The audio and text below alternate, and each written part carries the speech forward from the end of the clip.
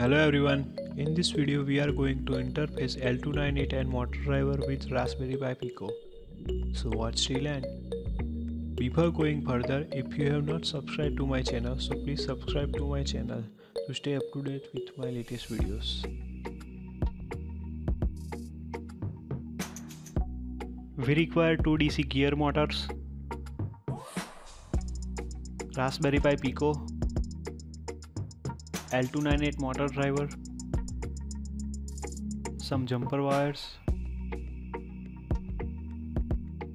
breadboard,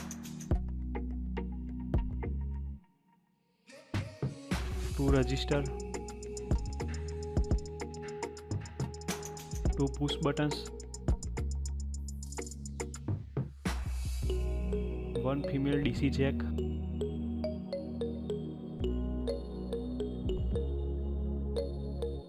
and 12 volt adapter.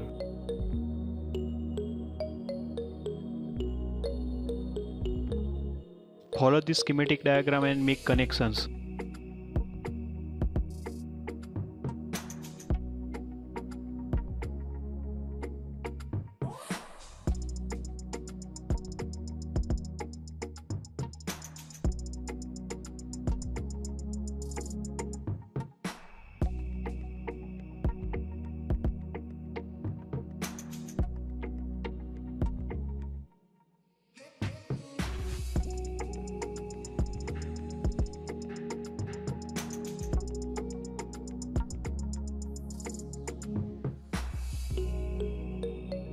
Here I use Thonny IDE to program Raspberry Pi Pico.